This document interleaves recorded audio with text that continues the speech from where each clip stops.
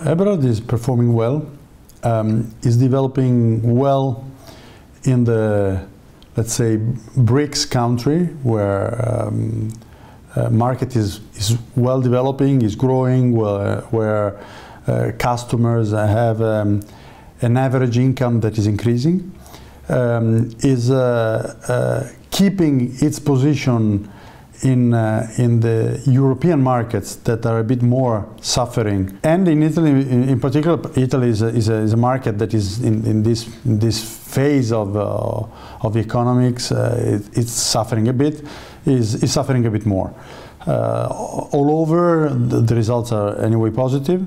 Uh, definitely, the brand is a brand that is more uh, focused on the Western con consumers, so the European consumers, more than the new consumers on uh, on uh, on other markets, um, and and we benefit less from tourism in Europe than other brands.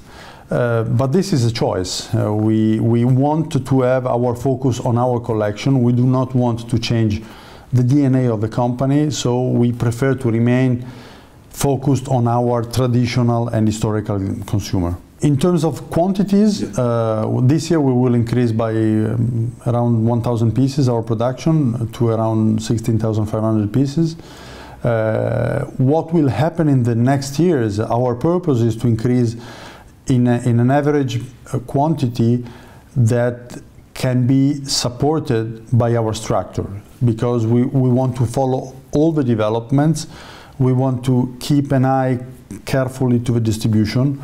So uh, we will never increase our distribution by an average percentage higher than 10%. On the other side, we must understand how much in terms of uh, movements we will have from our suppliers. And do you have any uh, concerns, any worries on that side?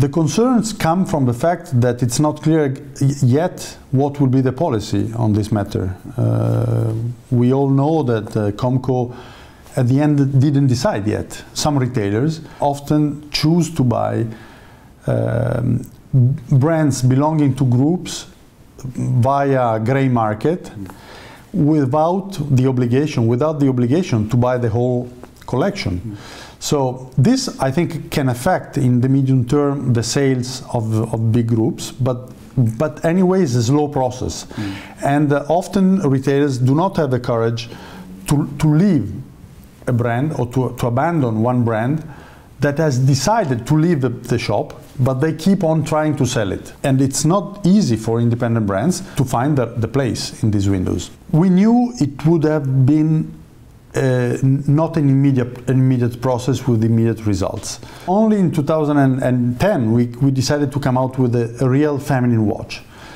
We perfectly know that on the market there are brands very well established, uh, much more known than us on the ladies' watch, and uh, uh, it would have not been easy to, to, to be successful with this product. But definitely it's not yet a, a, big part of our collection in the sense that we still remain a brand for men. Mm -hmm.